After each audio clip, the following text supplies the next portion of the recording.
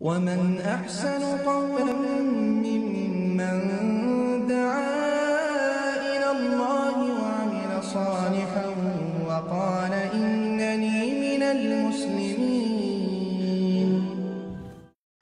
ওয়ালাইকুম আসসালাম রহমতুল্লাহ বরকাত জি ইরফান ভাই আপনি জানতে চেয়েছেন যে ছবি তোলা ইসলামে জায়জ আছে কিনা দেখেন ভাই ছবি তোলা ইসলামে একদম হারাম।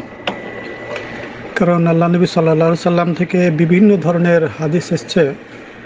আল্লাহ নবী সাল্লাহ সাল্লাম সবগুলোতে কঠোরভাবে নিষেধ করেছেন। কিছু কিছু হাদিসে আল্লাহ নবী সাল্লাহ সাল্লাম লানত করেছেন এবং কিছু কিছু হাদিসে আল্লাহ নবী সাল্লাহ সাল্লাম বলেন, কেয়ামতের দিন ওই যে সমস্ত জিনিসের ছবি আঁকা হবে, বিশেষ করে জানদার। যেগুলোর জান নাই, জীবন নাই, ফুল, গাছগাছালি এগুলোতে কোনো অসুবিধা নাই। আর যেগুলো জীবন্ত, মানুষ হোক, কোনো জীবজন্তু পশু পক্ষী যাই হোক না কেন, এগুলোর ছবি তোলা সাধারণভাবে হারাম। আল্লাহ নবী সাল্লাম কিছু কিছু হাদিসে বলছেন, সবচাইতে ওই ব্যক্তি চাইতে আর কে জুলুমকারী হতে পারে যে ব্যক্তি আল্লাহর সৃষ্টির মতো করে তৈরি করতে চায়। অনুরূপভাবে আল্লাহ নবী সাল্লাহ সাল্লাম বলছেন যেটা মুসলিম শরীফও আছে হাদিসটি, সবচাইতে বেশি বা কঠিন আজাব হবে যারা ছবি অঙ্কন করে বা ছবি ছাপায়। এভাবে বিভিন্ন ধরনের হাদিস আল্লাহ ইসলাম থেকে এসছে। তো মূলত ছবি মানুষের হোক বা জীবজন্তু যার যে সমস্ত জিনিসের জীবন আছে তাদের ছবি তোলা হারাম। কোনো কোনো আলেম আবার কিছু হালকা বলেন বা শিথিলতা প্রদর্শন করতে থাকেন যে যেগুলো যন্ত্রের মাধ্যমে মেশিনেই ছবি তোলা হয়ে যায়, এগুলো অতটা না। কারণ আল্লাহ নবীর যুগে যেগুলো ছবির কথা বলা হয়েছে, সেগুলো হয় কোনো পাথরে, কোনো ইটে, কোনো বলে খোদাই করে বা তুলে দিয়ে আঁকা বা কলম দিয়ে বা এই সমস্ত জিনিস দিয়ে আঁকাকে বোঝানো হতো।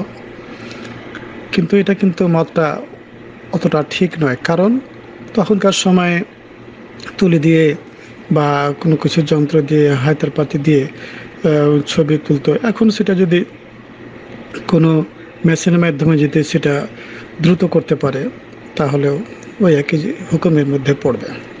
তো যাই হোক সর্বস্ব করল কথা হলো যে জীবজন্তু, জিনিস জানদার জিনিসের ছবি তোলা হারাম। আর যেগুলোর জীবন নাই, সেগুলোর ক্ষেত্রে কোনো বাধা নাই। হ্যাঁ এখন এমন হতে পারে যে আপনি ছবি তুলতে, আপনার ছবি তুলতে বাধ্য। যেমন নাকি কোনো দেশে গেলে পারে পাসপোর্ট লাগবে, পাসপোর্টের ছবি লাগবে। অথবা পরীক্ষার অ্যাডমিটের জন্য, পরীক্ষার প্রবেশপত্রের জন্য, সেখানে তো ছবি লাগবে, না হলে চলবে না। অথবা সার্টিফিকেটের জন্য আপনার ছবি না হলে পাবেন না আপনি। অথবা এমনকি দেখা যায় যে চিকিৎসা করতে বিদেশ যাবেন, সেখানেও পাসপোর্ট লাগবে ভিসা লাগবে আর ছবি লাগবে, আপনার না হলে চলবে না। এমনকি হজ করতে গেলেও এখনকার সময় ওই ছবি লাগবে।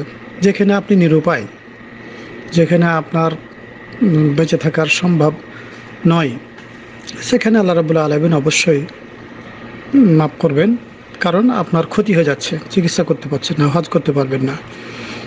আর এমন ক্ষেত্রে জায়েজ আছে, তবে একবার হালাল মনে করে খুব আনন্দ সহকারে করবেন তা নয়, কারণ এটা আপনার বিপদ মুক্ত বা আপনার দরকারের জন্য আপনি এটা করতেছেন। আর বিনা কারণে ছবি উঠানো, তাতে অঙ্কন করি হোক, খোদাই করি হোক, বা পেছনের ছবি তোলা হয়, বিনা প্রয়োজনে ছবি তোলা হারাম। তাতে যদি আপনি মানে ব্যাগের মধ্যে ছবি তুলে ভরে রাখেন, তাও ওয়ালে টাঙ্গে রাখলে তো কোনো কথাই এটাই আল্লাহ নবী থেকে।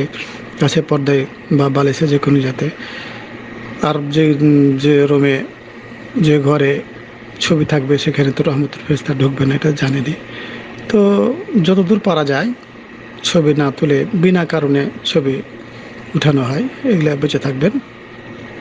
আল্লাহ রবুল্লা আলমিন যেন আমাদেরকে সঠিক পথে চলার যত সম্ভব গুনার কাজ থেকে বাঁচা, ছোট গুণা হোক আর বড় তো বাঁচতেই হবে ছোট করে, এমনকি যে কোনো প্রকারের গুণা থেকে বাঁচা তৌফিক দান করুন। আসসালামু আলাইকুম রহমতুল্লাহ বরকাত